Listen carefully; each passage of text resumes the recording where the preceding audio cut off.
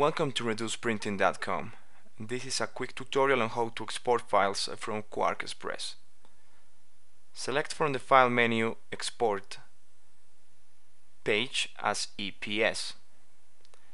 Name the file and press Save. Open the Quark EPS file into Adobe Illustrator. Select all and go to the Type menu selection and select Create Outlines.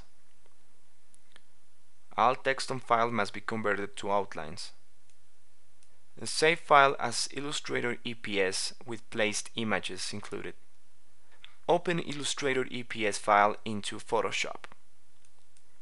In Photoshop, set resolution to 300 dpi and mode to CMYK.